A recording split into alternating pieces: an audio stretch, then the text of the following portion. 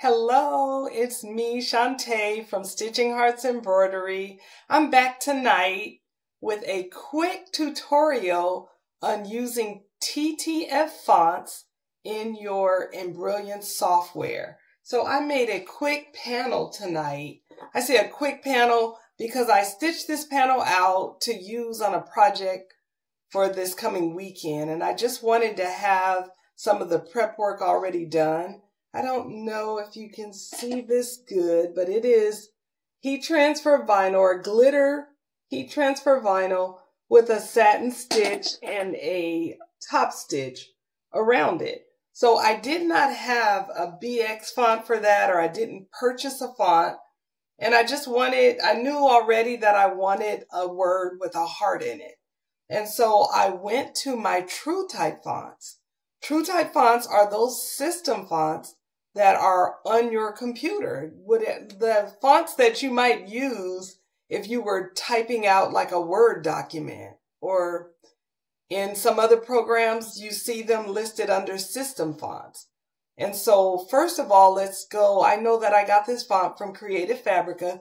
I did not get it today. It was already on my computer and I'll show you how you find those system fonts within Embrilliance in just one moment. Let's go over to Creative Fabrica. And here it is. It's called Kai, K-A-I, Kai Love. And so at some point, um, months ago or at some other time, I downloaded that font and did the extraction or install whatever the steps are to get that font into my computer as a system font. And so tonight, when I wanted to use a font, I start off here. This is our regular select tool. I'm using Stitch Artist 1 and in Embrilliance. And I went over to create. And once I hit this create button, if you look over here, this TT button pops up. So I turned it off and you don't see the true type button. I turned create on and there it is. It's true type, TT for true type font. I'm going to click that and a box pops up. Now this already has my Kai Love font showing because it'll save or remember whichever font you use last. And that's what I used earlier. So the, your true type or your system fonts are listed in here in alphabetical order. And so in this text box, I'm going to use my keyboard and type MOM for mom. And then it gives you a sample of what that'll look like. Now, if I wanted to use something different, I could try that. You know, I could go down the line and try some of the other ones. So tonight, we are just doing a um, applique design, which is the easiest thing to do when you're working with True Type fonts and Embrilliance. So there are ways that you can also add a satin stitch or a um, fill stitch, but you need a little more practice and a little more information to sometimes make those other um, stitch types work. But for a true type font, I mean, for a applique font or, or an applique design, it's usually pretty easy. So let's, there it is. It's Kai Love and then the word mom. I'm going to push OK and it shows up. Over here in the objects panel, it shows M-O-N. Each one of those letters as a separate object. I'm going to make it larger. I know this is my 7 by 11 hoop that's showing here in the screen. And I know that I want this to be pretty large. So there you go.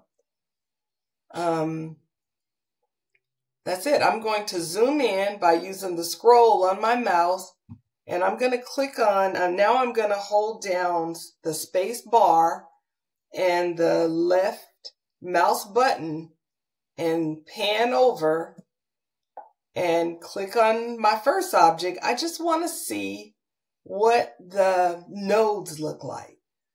What this font came in here looking like. Like how hard is it going to be to work with? Are there any breaks in this? And it looks pretty good. There's only a couple of nodes. This is, uh, you know, really good. This looks like it might even work well. Um, pretty easy to put another kind of um, stitch to it. Uh, the O looks good.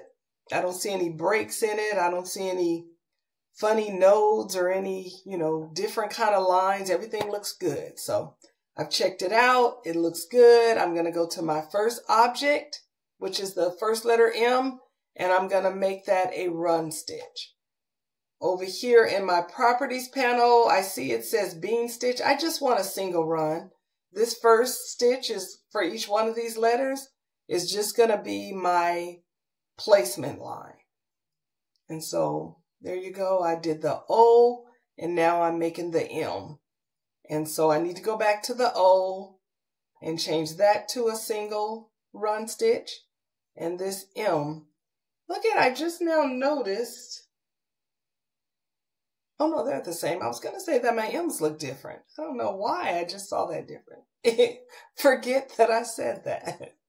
Maybe because I had it highlighted, it looked like one of the legs of the M was different.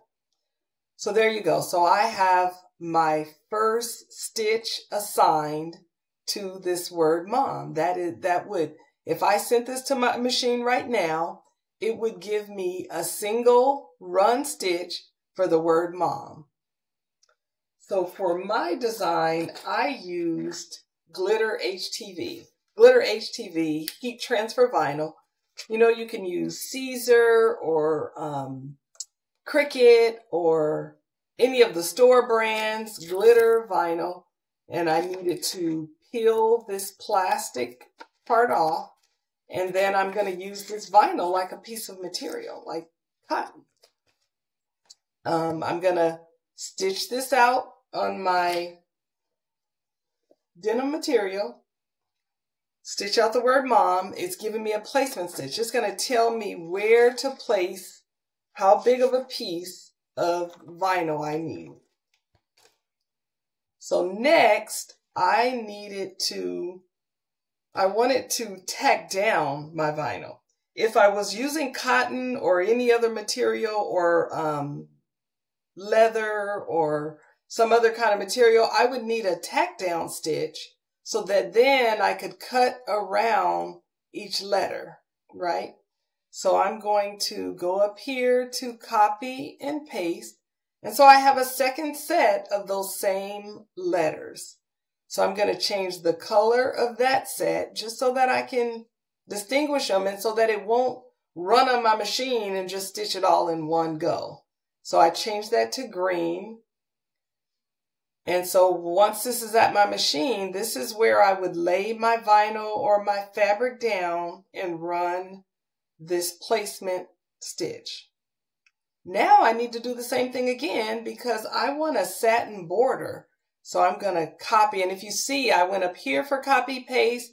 I can also, once this is chosen, once the um, objects are chosen, I can go to or select it. I can use my right mouse button and then click copy and then right mouse, right mouse button and click paste. So that gave me another mom.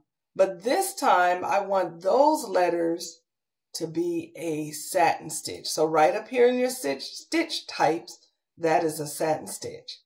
We're going to go over here to properties, change the color to a teal, and also it's a, a width of 3.8 and that works for me for this. And that is all. That is the design. I have a, um, if you look up here in my objects panel, I have a placement stitch, a tack down stitch, and then the final stitch. So when you're using Glitter HTV, once it um, runs that final satin stitch, then you just peel the extra or the relief, the, the, the throwaway part of the vinyl off. There was no cutting involved with this. I peeled that off. I don't know if you can tell, but I have a top stitch. Yep, you can see it maybe right there. There is a top stitch, another stitch, a finishing stitch on top of my um, satin stitch. You can do that or you can leave it off. For this design, I just wanted it.